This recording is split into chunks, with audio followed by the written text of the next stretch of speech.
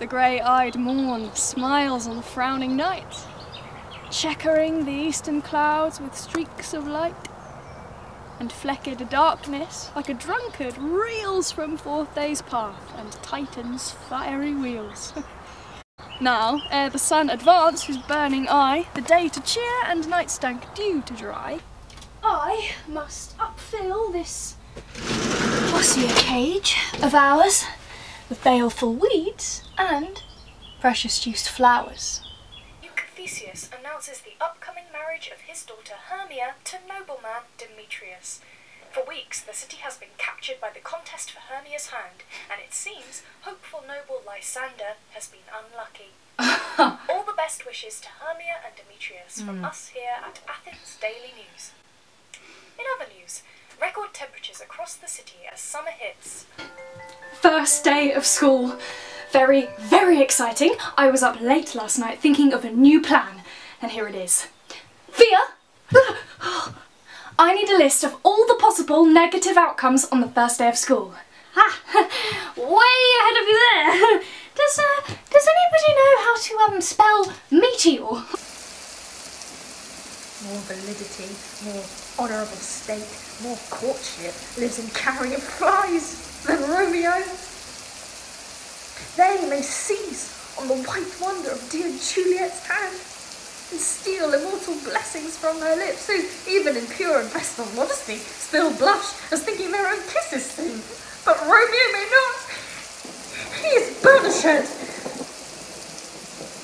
This flies may do, when I from this must fly. They are free men, but I am banished. And sayest thou yet that exile's not death? Oh, sadness. I have a super important job that's just for you. Really? This is the circle of sadness. Hmm? Your job is to make sure that all the sadness stays inside of it. Okay? There you go. See? You're a pro at this! Isn't this fun? no. How happy some or other some can be. Through Athens I am thought as fair as she, but what of that? Demetrius thinks not so. He will not know what all, but he do know. And as he errs, doting on Hermia's eyes, so I, admiring of his qualities.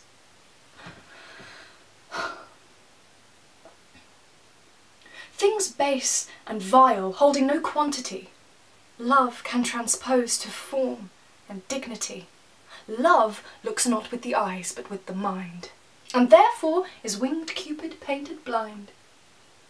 Nor hath love's mind of any judgment taste, wings and no eyes, figure unheedy haste, and therefore is love said to be a child, because in choice he is so oft beguiled.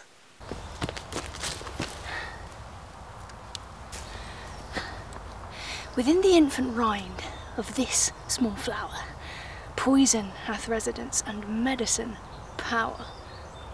For this part, being smelt with that part, cheers each part, being tasted, slays all senses with the heart. How hast thou, the heart, being a divine, a ghostly confessor, a sin absolver, friend, professed to mangle with that word? Bad Atta go. Alright, everyone, fresh start. Which means we're going to have a good day, which is going to turn into a good week, which will turn into a good year, which turns into a good life. Okay?